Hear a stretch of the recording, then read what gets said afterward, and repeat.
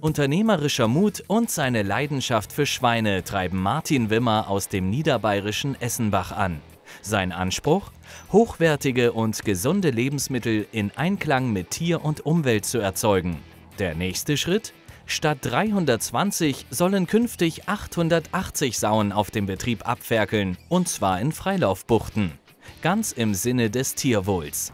Bei den Sauen legen wir besonders viel Wert auf Hygiene und äh, auf das geschlossene System sowie auf einen geschlossenen Kreislauf, was ähm, die Futtermittel und auch die Gülle betrifft, dass wir das auf unseren eigenen Feldern verwerten können und dass wir nach außen ein gutes Bild abgeben, um ein positiver Botschafter für die moderne Landwirtschaft zu sein.